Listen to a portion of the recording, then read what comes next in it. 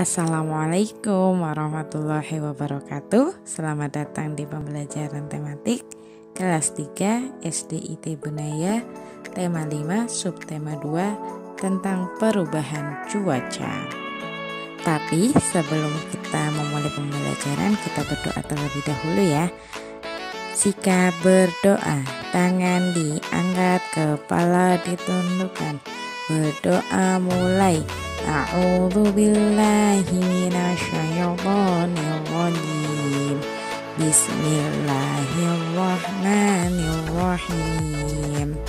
رضيت بالله ربا وبالإسلام دينا وبمحمد نبيا ورسولا ربي زدني علما وارزقني فهما. Amin. Alhamdulillah kita sudah berdoa. Kita mengawali dengan berdoa itu sudah bagus. Yuk, mari kita belajar. Sebelumnya kita sudah belajar tentang cuaca.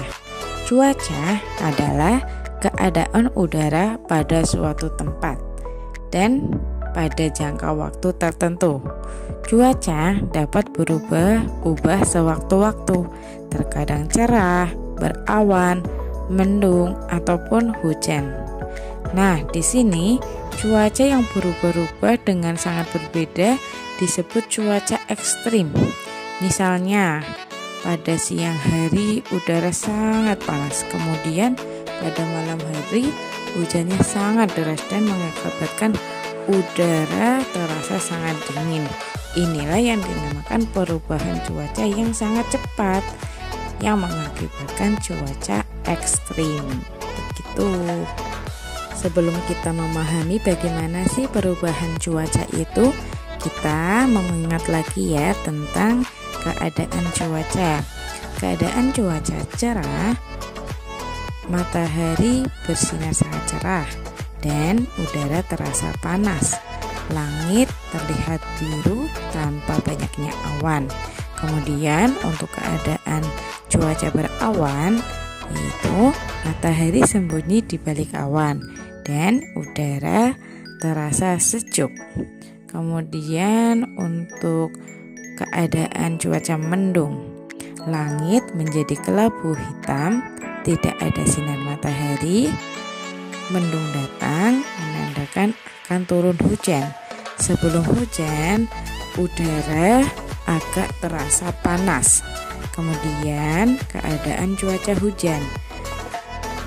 Udara sangat dingin atau udara dingin. Kemudian turun titik-titik air yang banyak ataupun sedikit. Kemudian ketika hujan kadang ada petir atau kilat. Itulah tentang keadaan cuaca. Selanjutnya, untuk memahami cuaca dan perubahan, perhatikan cerita berikut ini.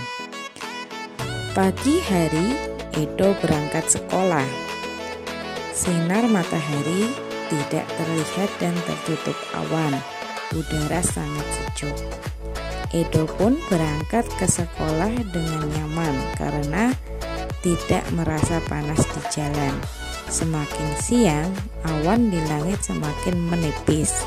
Matahari menyinari bumi dengan terik. Sinar matahari tidak terhalang awan.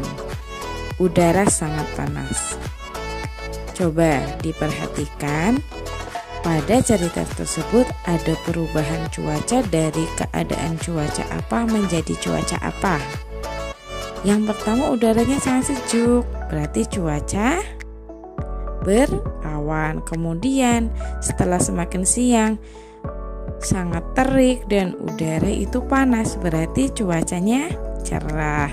Betul, di sini ada perubahan keadaan cuaca berawan menjadi keadaan cuaca cerah.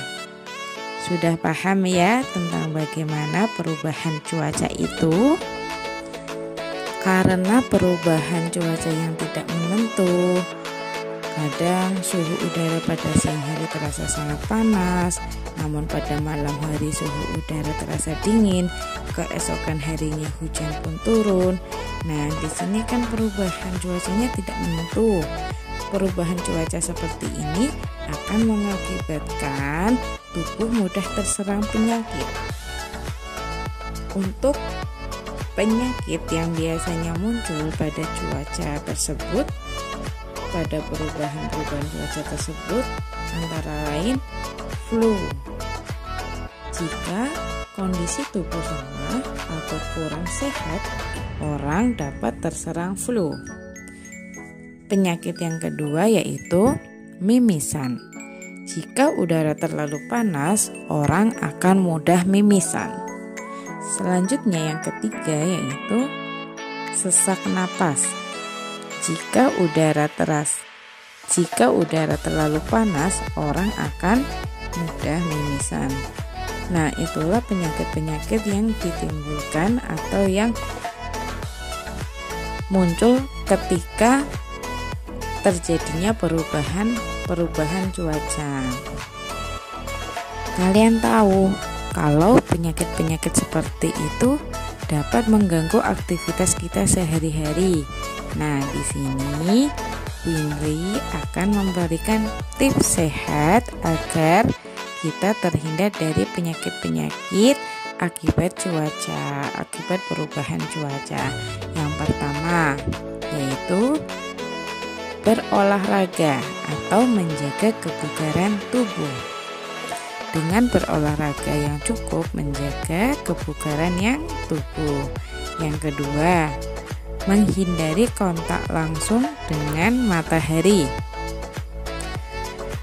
Bagaimana sih caranya? Yaitu dengan menggunakan pakaian lengan panjang. Hal ini kulit terlindung dari sinar matahari langsung. Untuk yang ketiga, yaitu menggunakan masker. Karena apa? Karena di sekitar kita banyak sekali debu dan bahkan banyak sekali bakteri-bakteri ataupun virus-virus yang ada di udara. Jadi sebaiknya kita menggunakan menggunakan masker walaupun kita tidak sakit. Seperti itu. Menjaga kesehatan itu juga dianjurkan oleh Rasulullah loh. Banyak sekali tips yang diajarkan oleh Rasulullah agar kita memiliki tubuh yang sehat. Salah satunya yaitu gemar berolahraga.